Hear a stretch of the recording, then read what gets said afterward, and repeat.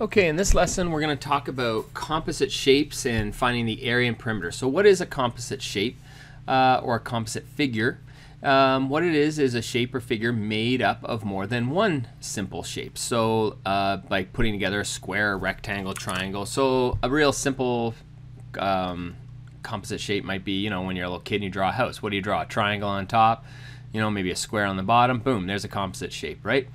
So, you know, you can stick a half circle on there. There you go. I don't know why your house has ears, but there you go, right? These are composite shapes when you're sticking together cutting out shapes. So I've drawn a composite shape here and I did a really bad job of trying to draw a semicircle in it. What we want to do is find the area and perimeter of this shape.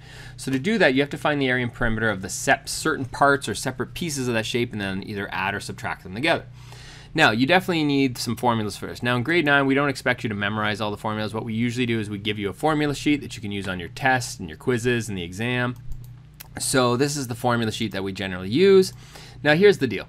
I never use some of these formulas. You should never need to know, you know, what is a special formula for the perimeter of a rectangle at this point, right? What is it? Length plus length plus width plus width. Yeah, no kidding, you add them all together, right?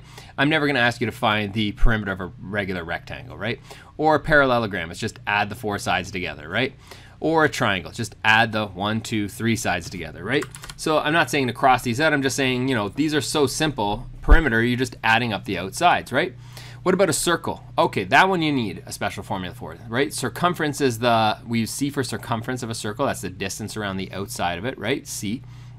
Um, and it's either pi times the diameter, diameter is the length all the way across, or 2 times pi times the radius because remember your diameter equals 2 times your radius. So it's really the same formula, okay?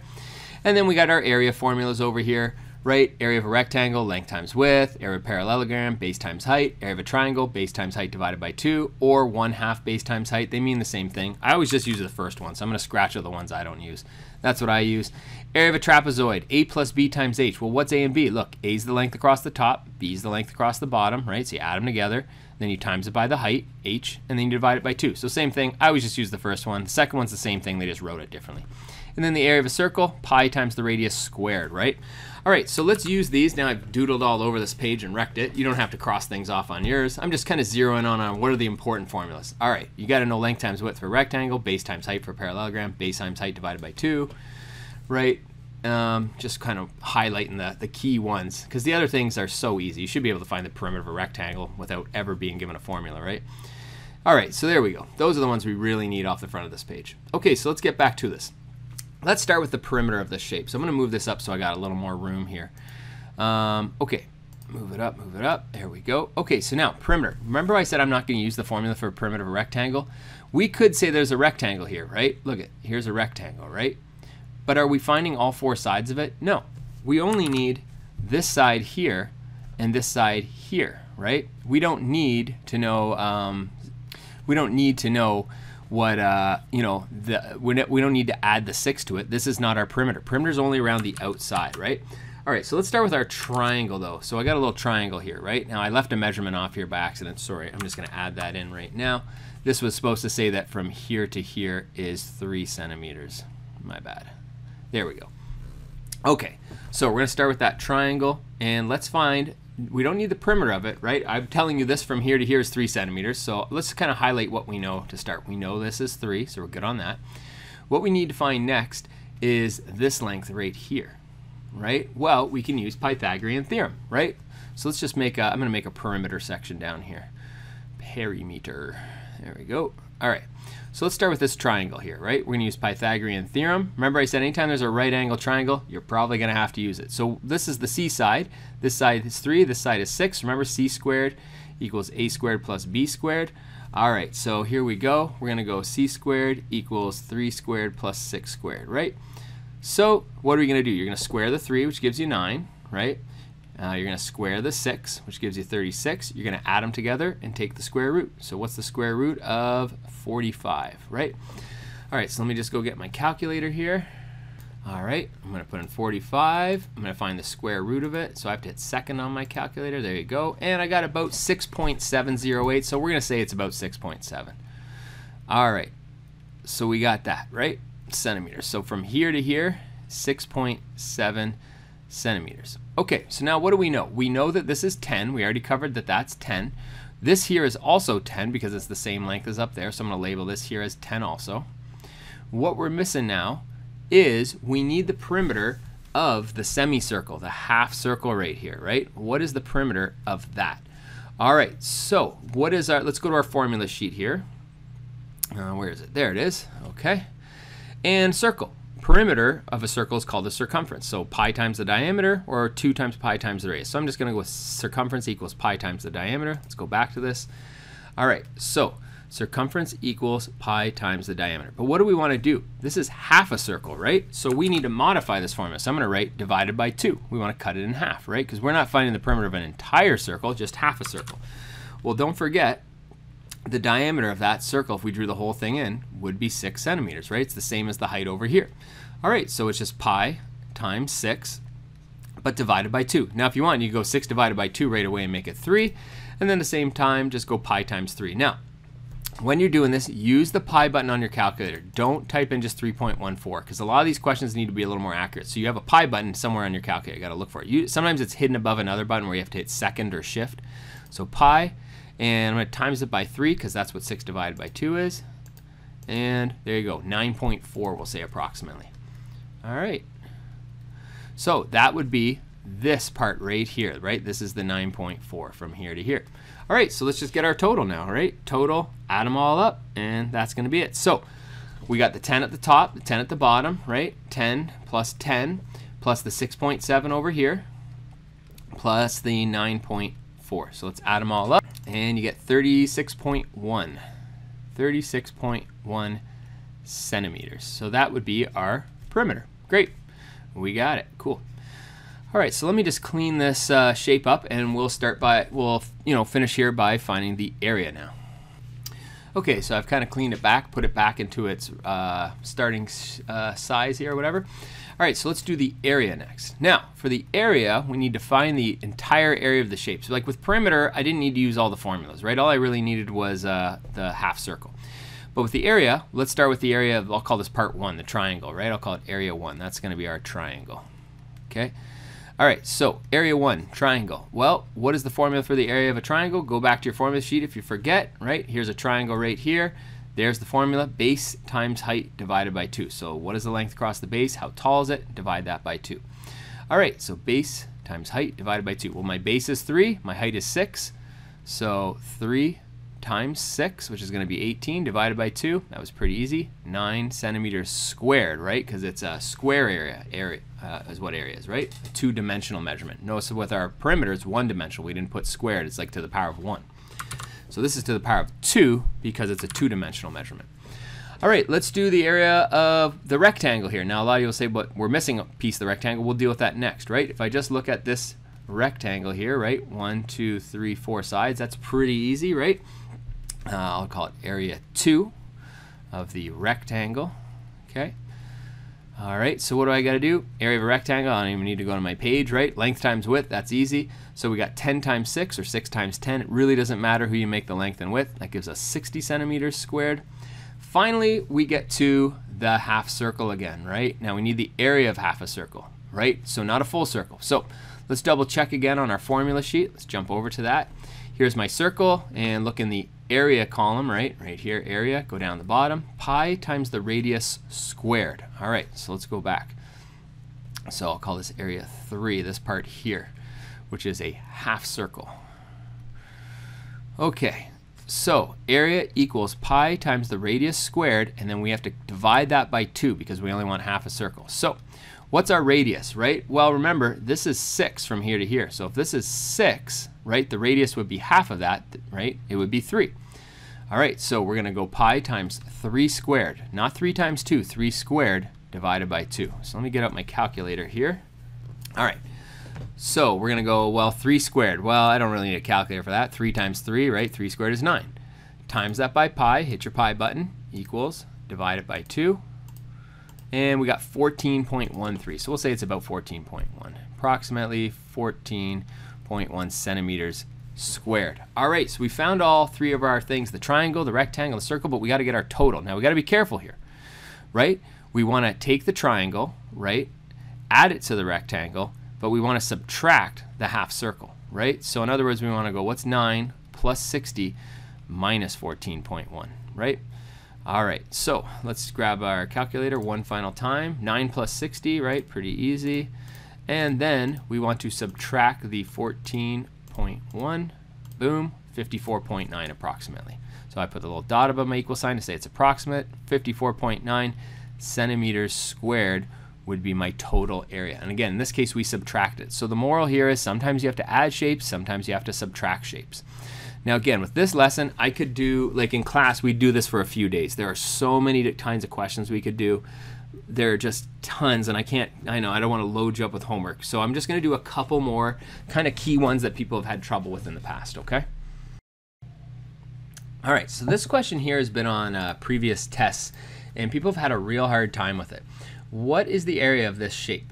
Now, if you look at it carefully, there's just two triangles. There's a little triangle here, so let's start by finding the area of that little triangle. Now, people will say, but that's not the area of what we want, right? But that's the area we're going to cut out, just like the question before with the uh, circle, right? The half circle, we cut it out.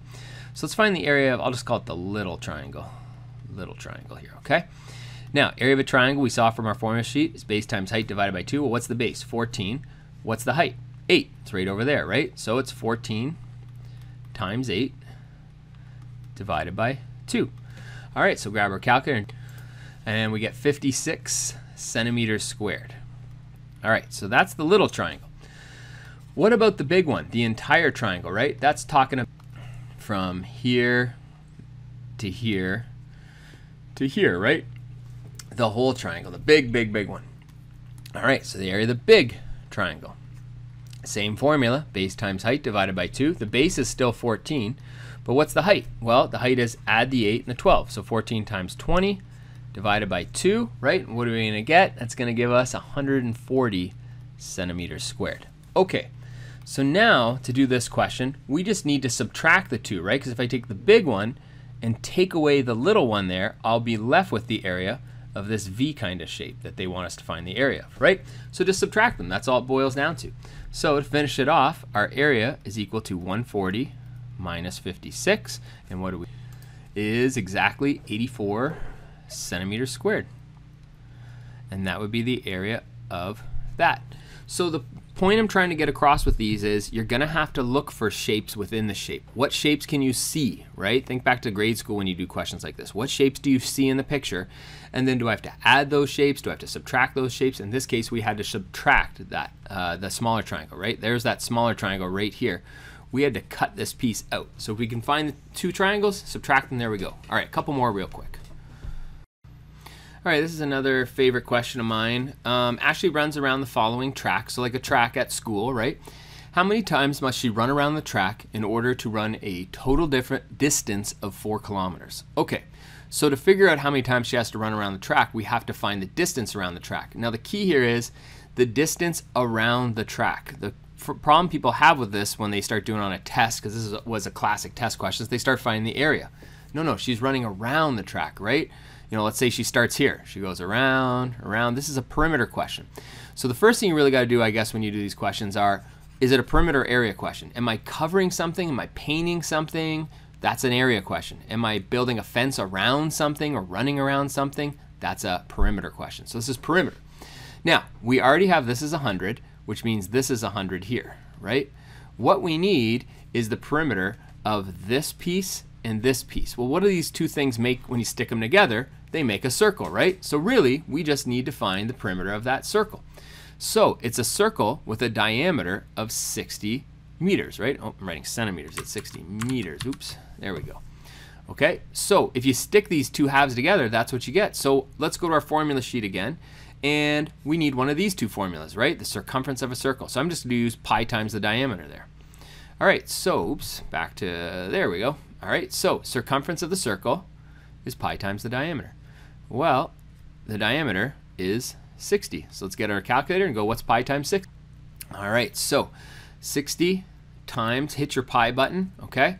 And I get 188.4955. I'm going to just keep a bunch of those decimals for now.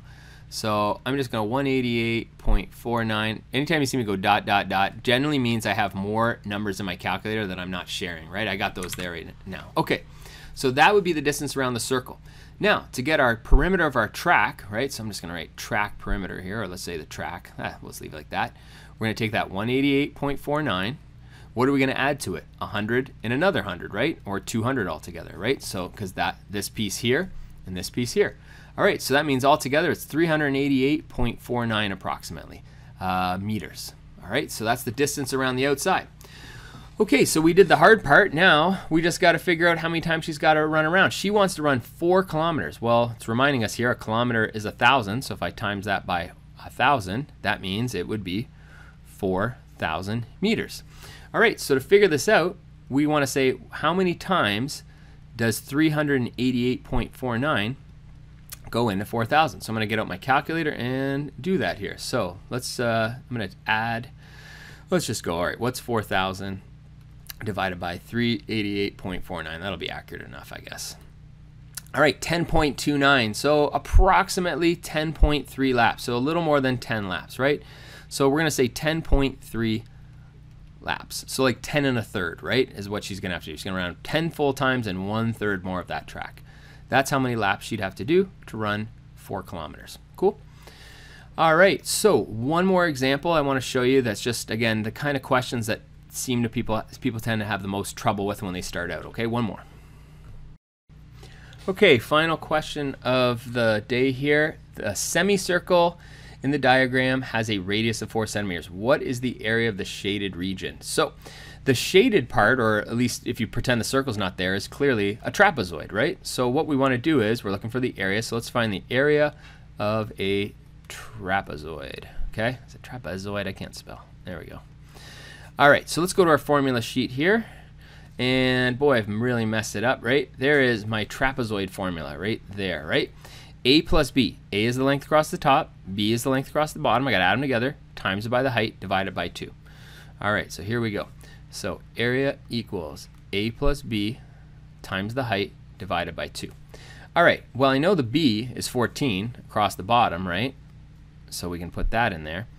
But I don't know what A is right? And I don't know what the, the height is, right? Like I'm missing some information here. So we got some problems, right? Don't know the height, don't know that. Now think about a clock, right? Think about the, if you have an arm of a clock, whether it points up, points there, points there, points wherever, it's always the same length, right? It's the same thing with the radius of this circle. Okay, the radius of the circle is four centimeters. They told us right here, right? So from here to here is four centimeters. That means from here to the top is also four centimeters, right? This is four centimeters. All right, so that would be the height of our circle, right? Which is also the height of our trapezoid. So that would go here. Now what about the length across the top? Well, we know it's four plus four, so this is eight, right? So we actually have that measurement also. All right, so we had everything we needed, right? Uh, what do we got to do here? 8 plus 14, we're going to have to times by 4, divide by 2, and that's going to give us uh, 44 centimeters, I think. Yep, 44 centimeters squared because it's a two-dimensional measurement. Okay, so that's the trapezoid. Let's do the circle now. Now again, it's half a circle, not a full circle, right? So the area of a half circle, you can call it a semicircle if you don't want to use the word half, you know, same idea, right? Half circle, semicircle means the same thing. Formula sheet we saw before is pi times the radius squared, but we have to divide it by 2 because we want half a circle. So remember, we're not always dividing by 2, just when we're dealing with half circles, right? And if I had a quarter of a circle, I'd divide it by 4. All right, so pi times the radius, when we know the radius is 4, we need to square that and times it by 2. Now remember, 4 squared is not 8, it's 4 times 4, it's 16. So let me grab my calculator here. All right, so the number one mistake that gets made here is people don't square it, they just times it by 2. It's 4 squared, right, which is 16. Times that by pi, boom, divide that by 2. Could obviously do a little reducing with your fraction there. And we get 25.13 approximately, 25.13 centimeters squared. Don't forget to divide it by 2. And to finish it off, we just need to subtract, right? Take the trapezoid, subtract the 25.13 approximately. So let's bring this guy back. So I basically have that there. I'm just going to go minus 44, do it the other way. And it's going to be 18.9 approximately, we'll say, right? So when I subtract them, I get approximately 18.9 centimeters squared. That is the area of the shaded part, right? So that's enough for this. I could go on all day and do more and more and more of them. But you hopefully are getting the point. First of all, is a perimeter area? That's the first one, right? Step one. Ask yourself, am I finding the perimeter or the area, right? Step two, what shapes do I see, right? Find the, you know, area or perimeter of those shapes. And then last part, do you have to add them? Do you have to subtract them? What do you have to do? And be careful when you have to modify a formula, like divided by two because of a half circle or something like that. It's generally half circles are the ones you got to watch out for. All right, that's enough for this lesson. Thanks.